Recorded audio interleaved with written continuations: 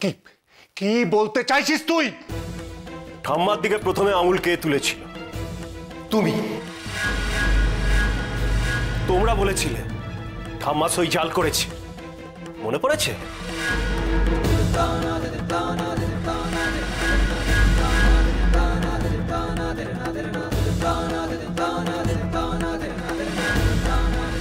উনি উনি আমার সবচেয়ে বড় শত্রু।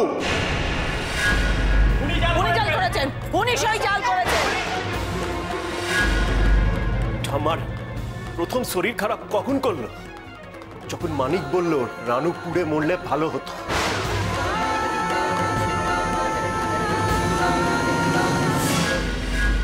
এই জন্য এই জন্য আগুনের মধ্যে বন্ধ করে দিয়েছিলাম ঠিক।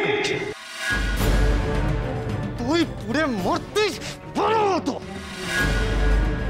তুই রানুকে পুড়িয়ে মারতে চেয়েছিলি? টমি টমি মনে পড়েছে তো? ঠাম্মার এই অবস্থার জন্য সবচেয়ে বেশি দায়ী হলে তোমরা।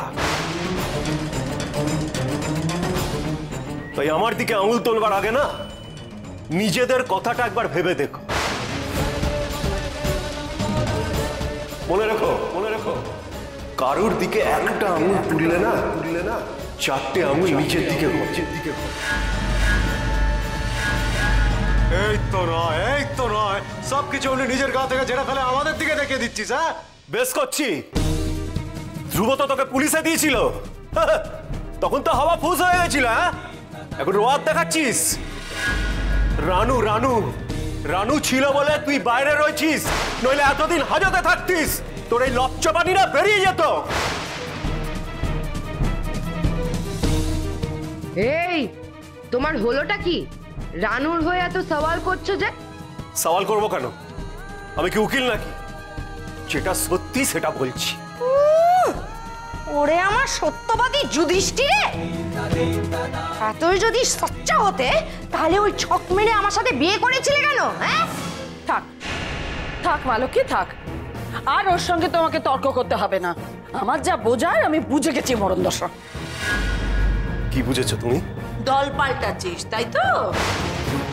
বাড়িখানো বন্ধক রেখে আমাদের? এখন রানুর টাকা দেখে তুই দল পাল্টাচ্ছিস। আহ!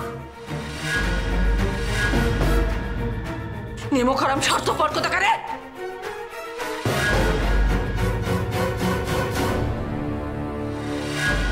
এই নেমখার স্বার্থপরতা আমি তোমাদের থেকেই শিখেছি। আর তোমরা আর রানু, যদি দুটো দল আলাদা হয় তাহলে আমি দল পাল্টাচ্ছি।